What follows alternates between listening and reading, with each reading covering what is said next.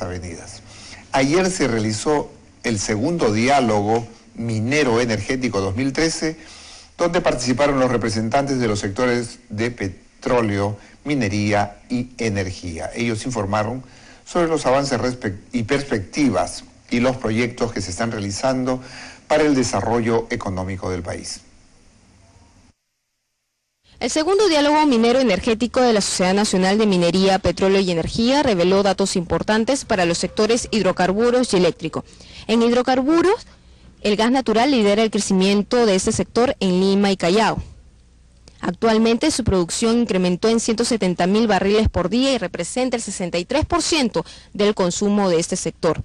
Son varios los bloques que están demorados en la ejecución de, sus proyectos. Repito, estamos ahora en la página de tratar de resolver y estaba recién acabamos de hablar que con el 054 se ha logrado aprobar algunos cambios de algunos de IA, que ha salido este, un lote de, un par, en realidad creo que son de lotes de fuerza mayor en los últimos dos o tres meses. O sea, estamos en el proceso del cambio.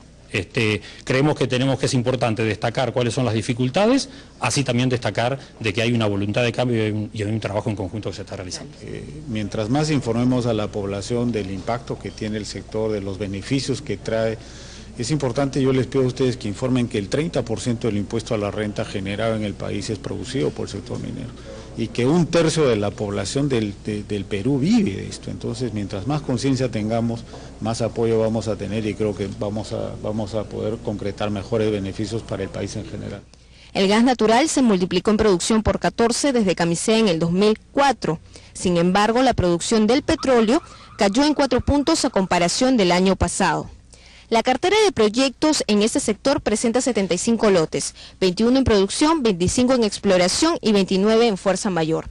Algunos de estos proyectos son gasoducto virtual, gas natural comprimido, modernización de refinerías y por licitarse hay contratos de producción, ductos de seguridad, gasoducto surandino, poliducto de GLP de Pisco a Lima, polo petroquímico, entre otros.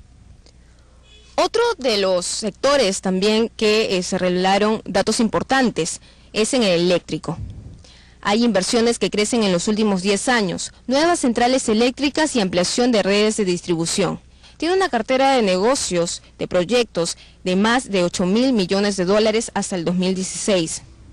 El 62% de la producción lo tienen centrales hidroeléctricas.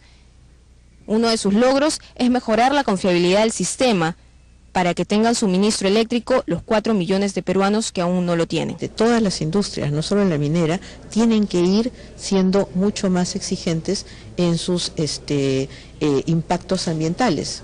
De todas maneras va a haber un impacto, pero cada vez eh, en función a la tecnología y a los adelantos vamos a poder tener menores impactos. Y eso es a donde debemos tender, ¿no?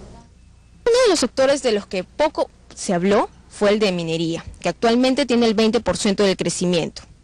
La producción en ese sector la lidera el cobre, seguida del zinc, oro en el tercer lugar, plata en el cuarto y el hierro en el quinto.